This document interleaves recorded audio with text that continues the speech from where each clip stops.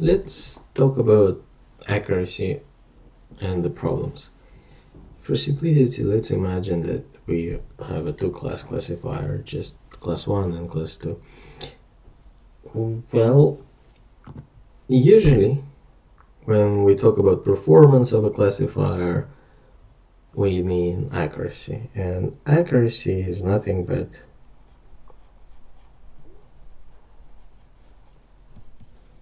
number of correctly predicted values or labels. Uh -huh. Come on, come on. Correct predictions.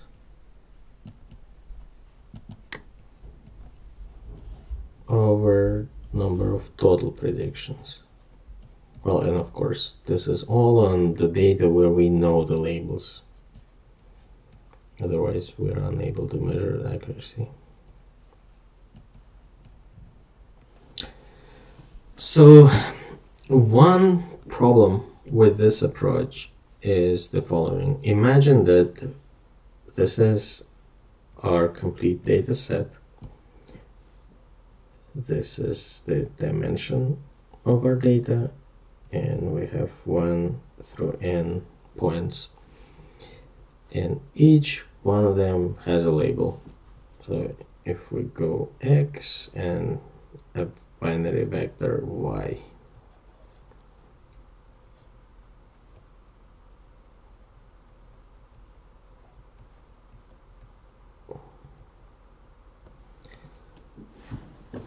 So now imagine we've got a data set where we're measuring our accuracy such that, well, zeros and ones, right? Such that the class split is uneven or highly skewed. So we have 95% ones and 5% zeros.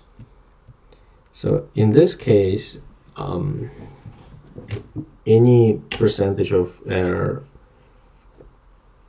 uh, will be a large penalty. So for example, oh, any percentage of error on class 1 will be a large penalty. If we have 10% error for class 1 and we have 10% error for class 0. So for class 1 we're missing whole 9.5% in this case.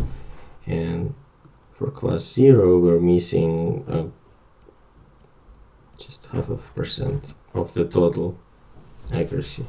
So when you're training a model with this highly imbalanced uh, data set, the model or the training algorithm may um, fall into the following problem. It may decide to just focus on this class and the learning rule or the resulting model will be for all x predict 1 So um, the accuracy in this case will be 95% because the error is only 5%, but the problem is uh, the error is only 5% and it's always on class 0. So the problem with this is that class 0 may be the class that we most care about. For example, uh, class 0 uh, may be the class where um, the person is unhealthy or a person has cancer needs treatment or something like that it's a rare event but if we miss it it's very dangerous. Um, so that's one of the problems with um, the accuracy. And then what could the solution would be, uh, be? And then you'd say right a naive solution is well okay how many samples do we have? What is n imagine our n is, you know, a million.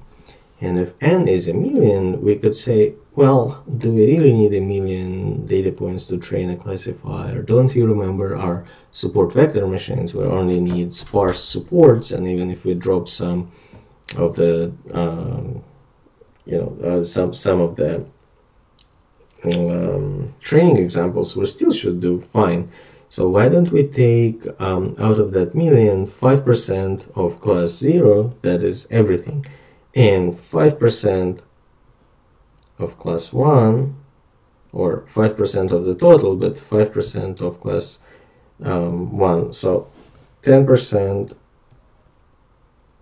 of the total training data. Now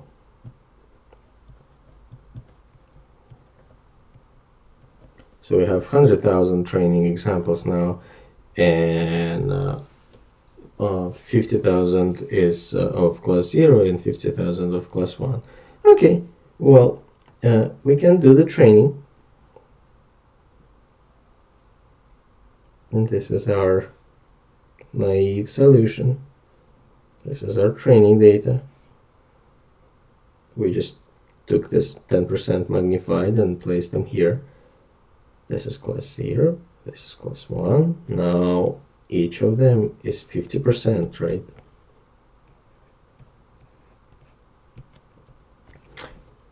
And um, then when we're training, we're basically comparing two algorithms, which one uh, is better, algorithm A or classifier A or classifier B. Let's get this out. Where are we? Imagine again a situation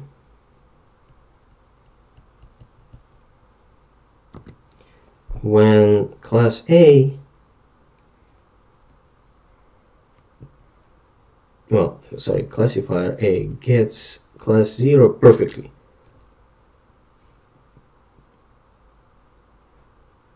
But misses almost a fifth of class 1, right?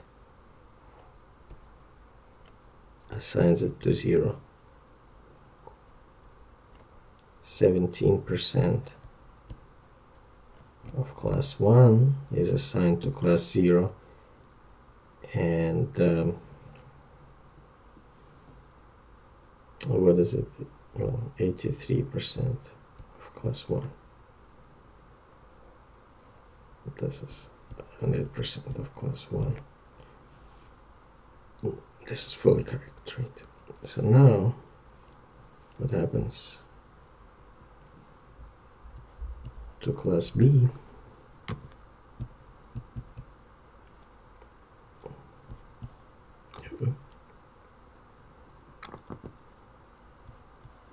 What B does on the other hand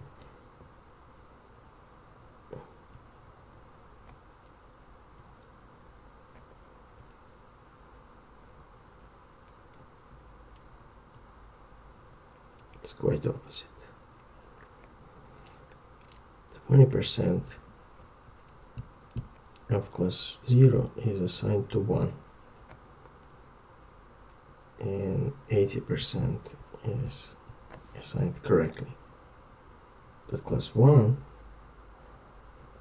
it gets fully correctly 100%. So if we look at this uh, then the overall accuracy of A, the overall accuracy when we make a choice, right, is 92% because you know 17% of a half uh, uh, is our error and then um, that'll be around 8% as you see. No seven and a half uh, for B classifier. Our accuracy our total accuracy is 90% okay so hooray! We chose A because the overall accuracy is higher and we don't know better. So if we choose A as a classifier of our original data set, this one, that's how uh, the data is distributed or the class distribution is um, um, spread um, or the classes are distributed in the wild, then we uh, end up with the fact that A gets correctly class 0 all the time, uh, well, uh, that's tricky, right? Um, it over overinflates a little bit, right? It assigns 20% or 17% of class 1 to class 0, which means that um, the actual accuracy of this class on the data, on um, this true data is 84%. The actual overall accuracy is 84%.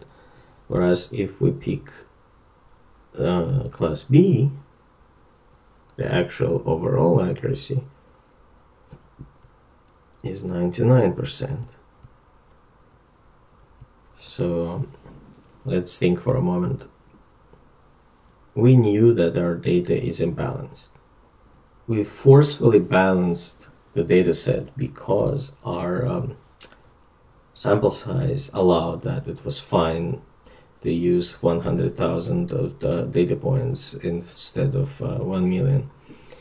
But then in testing, it turned out that overall, well, and one rebalance data set, classifier A was better, but in test data, classifier A overall accuracy. Again, all of those numbers are accuracies essentially here is number of correct to total predicted. So it turned out we are picking a perfect classifier or a winner classifier on the balanced data set manually rebalanced data set. But in the while, it only gets 84% correct. Uh, the worst, the inferior classifier that is almost 2% worse in our um, training data is in fact 99% accurate. But all of that doesn't have much sense either because if we think about it, well, uh, what does it mean to predict 0 incorrectly? What does it mean to predict 1 incorrectly? What does it mean to predict 0 as 1? And what is it in terms of the cost or the harm to predict 1 as 0?